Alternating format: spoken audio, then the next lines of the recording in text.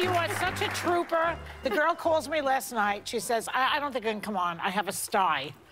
I said, you're a comedian. Who cares if you have a sty? your eye? Am I right? Yeah, yeah. I don't see it. but your son-in-law, Yeah, my son- Al, who's a physician's associate, Yeah. told me to put a, bake, a hot baked potato on my eye. So I'm like Mr. Potato Head all night. I'm so Mrs. sitting there, and I, I was like, Al, I only have a sweet potato. He laughed in my face.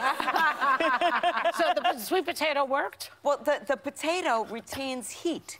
So, like when you have a compress, you use a potato. Oh. Then you have a lovely meal, and then you're done. So I was I watched the first uh, episode of Curb Your Enthusiasm. You have to watch it. It was hilarious. I mean, she's so funny all the time. Funny. And uh, you know, I want her to come and run my home remodel, which was a disaster. I just had my floors done the other day. Thank God I didn't have to do that with the guy. I got it right. But but you- but Larry in this episode, he's with guy. He hates Happy New Year. I, I'm like that. Yeah. When is the cutoff point to say Happy New Year? Larry says three days. Three days. I But go he's along with strict. that. I, I say uh, 10. Yeah. But now if people say Happy New Year, now it's uh, June. It's June. Happy New Year. Exactly. Shut up. It's through January. Why? All right, never mind. Go ahead. Well, is that a rule? is that a hard and fast rule, Sunny? No, but it's it's through January. You're nicer than I am. but we knew that. Well, Susie, you and Joy have been friends for decades. I think Yeah. everyone knows that.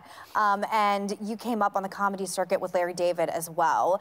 And people, like, I'm a huge fan of Curb Your Enthusiasm. My whole family is. I think you know that. Yeah. And, um, you know, I think when you watch the show, you think he's like a curmudgeon. And now he's playing Bernie Sanders on SNL. Right. So um, when you think back on the early days of coming up with Joy and him, what do you think about, and what is he like in person?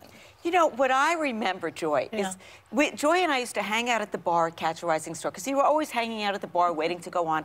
And Larry would just regale us with all his horrible dating stories. Remember that? and they were Yeah. funny and tragic. And those all became George storylines. Yeah, yeah. The George Costanza Yeah, storylines. Yeah. Yeah, and he would just one tragedy after another. I mean, it was just constant. And then we would all go run in the room when he was on.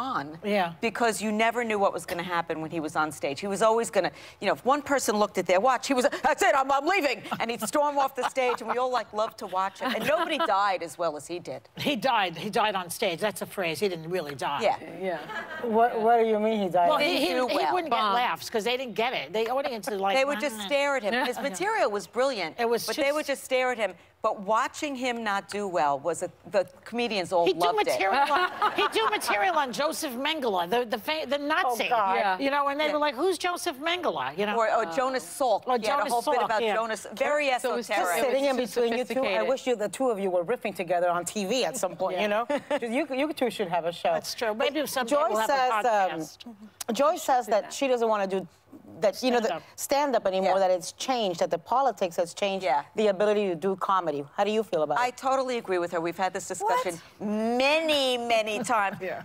When we first started, for many, many years, comedy, you know, you'd be in these dark, dirty comedy clubs, smoky at the time. Yeah. Mm. We inhaled so much secondhand Three smoke. drunks. And nobody had phones, and nobody had Twitter. Right. And you could say whatever, you could push the envelope, you could explore, you could go too far and then feel that little feeling up your spine and pull yourself back and, you know, create create something that was edgy. And you can't do that anymore. No. You hmm. just can't. It's all politically correct. boring now. It's boring. boring. I don't it's like boring. it. And if you say something that somebody doesn't like, although Curb is extremely politically incorrect, Mm, and Larry Yeah. could care less. But that's HBO. yeah. Bill Maher is also. Uh, uh, he's th- those people are out of the But loop. that's that's my question because Curb Your Enthusiasm is in its tenth season, Right. which is remarkable, right? And the episode uh, dives right in with these hilarious jokes, but they're kind of cringeworthy because they talk about the Harvey Weinstein Yeah. stuff, and um, there's a MAGA hat storyline. Um, do you ever worry about pushing it too far? Well, uh, it's not my, you know, Larry, it's, it yeah, would be it- Larry who would. I just do whatever he tells me to. Right. But is there, so there's no such thing on Curb But Larry Curb. does not. I don't think he worries about it at all. I, I don't think he's he's an equal opportunity offender. Yeah. You know, he offends everybody. Yeah. Um, and I think he enjoys that. I think Yeah. he lives to offend. And I think if he, he feels as though if somebody's alienated by his political stance or whatever, alienate away. I think comedy's always happy. been that. Yeah, I- think if you're not offending somebody, you're not being funny in some way. What are we, jugglers?